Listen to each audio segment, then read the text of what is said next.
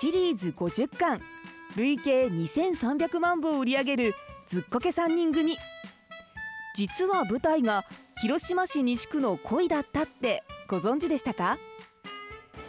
広島出身の那須さんはこれまで広島への愛情を前面に押し出すことはあまりしてきませんでした。そんな那須さんは今広島を新たに見つめ直そうとしています。この辺でそろそろやっぱり自分趣味的な作品をまとめたいな。その意味で一つの区切りになる作品じゃないかなという気がするな。ほとんど変わってないんじゃないかな。あのリニューアルはしてるけど。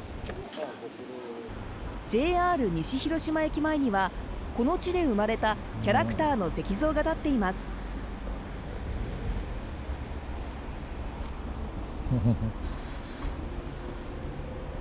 最初の頃はねできるだけあの広島だがモデルいうのは隠しとったからね。ないつ頃からついついなんか広島をモデルしてるいうのを言い出したから。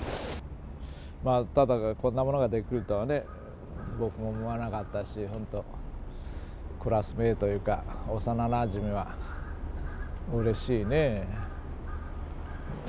あなたの町の本屋さんにもきっと一冊はあるはず。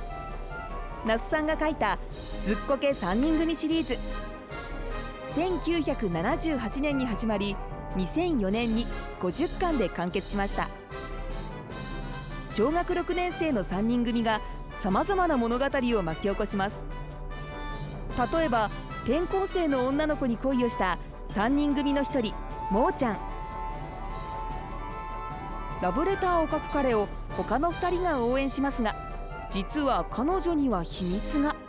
といったちょっと切ない恋物語や学校を舞台に株式会社を作ったり街に現れた怪盗 X と戦ったりと大活躍の連続です。そんなずっこけの舞台花山町は広島市西区の恋が舞台なんです。路面電車の駅や川の位置がそっくりです。街を歩くと物語の舞台があちらこちらに見つかります。わかりました。どうもすいません。こちらは物語に何度も登場する駅前の本屋さん。3人組はこの本屋で万引き常習犯の女子中学生と戦ったこともありました。元町やったから電車降りてここ寄って本見て帰るってよ。駅前のスーパーは花山デパートとして登場。3人組はこのデパートにトランシーバーを買いに行ったこともあります。そしてこちらは主人公の一人八兵衛の実家のモデルとなった八百屋さん。写真を撮らせてくださいと。かいろいろ。やっぱり遠方から来られる人もいるんですか？どっかでしょうね魚屋とかそういうお店屋さんの子供一人入れたいな思っていわゆるサラリーマンでない家庭の子供に地元っ子みたいなの入れたいかったんで。小小学校はずっこけの舞台であると同時に自らの母校。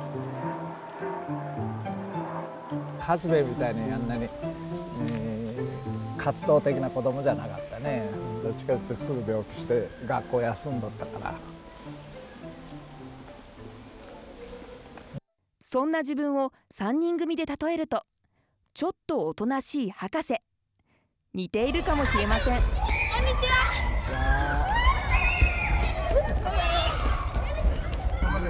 いやどうかな今の子の方がやっぱりあれなんじゃないの？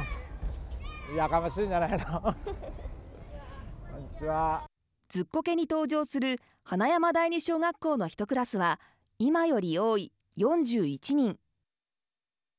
子供であふれていた那須さんの子供時代と重なります。ずっこけの原点には那須さんの懐かしい広島の思い出がありました。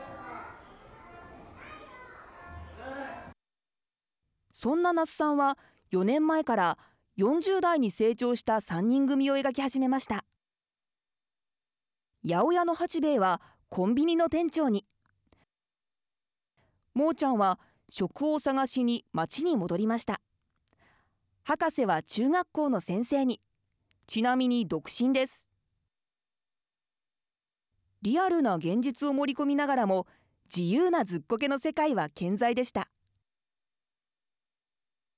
離れたらねやっぱり60過ぎてからやっぱりふるさとに対する愛着いうのがやっぱり随分どういうのかな。増してきたいう感じがするね。那須さんは変わりゆく街を見つめて今後も3人の成長を書き続けることを決めました。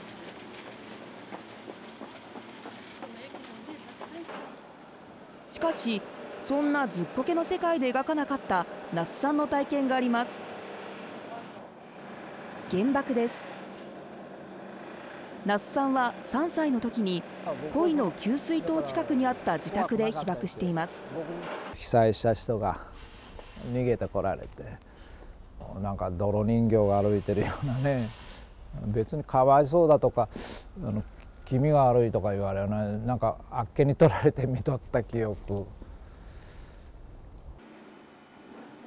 被爆者として伝えたいことはありますがずっこけシリーズにはあえて原爆や戦争の話は入れませんでした今回のそのお好み焼きの話にもそれを使おういうあれは。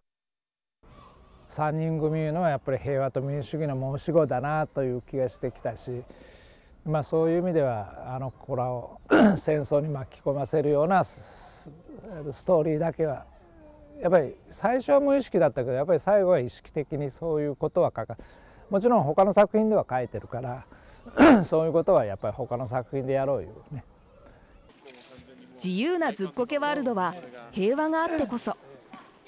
原爆の話は出てきませんがそこに平和への願いが込められていました。どうも。そんな那須さんは作家人生の総決算ともいえる作品を書き始めていました。現在執筆しているのはお好み焼きの三大忌だといいます。祖母母娘の3人が営むそれぞれのお好み焼き屋を通じて戦後の広島を描きます。広島をたびたび訪れ取材を進めているそうです。野菜だけだったからご飯分に折ってたんですね、いやただね最初ねそば入りでもね半分に折っとった。だからものすごくね盛り上がっとった。広島の戦後史を書きたいいうのがありましていわゆるあれだけの惨禍に遭いながら広島の人たちがやっぱりその中でしたたかに生きて、まあ、現在までねこれだけ広島市が発展した。僕自身も子供の時に、えー、お好み焼きを食べながら育った。ですから僕自身の自分史とも重なるんですよね。2010年はこの本にかける年にしたいと考えていました。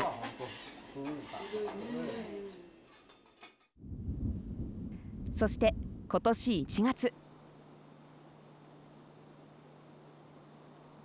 山口県防府市にある自宅の仕事場では愛用のワープロが軽快に音を刻んでいました。今ちょうど2代目が東京のレストランに就職してそこで料理を習い始めたというところまで書いてるんですけどね。新しいお好み焼きのお店をこれから作ることになると思うけどね。原爆の悲劇を描くというよりは復興に向かった戦後の数十年が舞台です。描きたいのは那須さん自身が目の当たりにした惨禍からたくましく生きてきた広島人の強さですでどうもこの前に向かって進んでる市民を書きたいわけです。だからまあそれはそれで僕は一つの平和僕なりの平和運動じゃないかなという気がするんだけどね。ずっこけ3人組が育った広島と向き合い那須さんは静かな平和運動を綴り続けています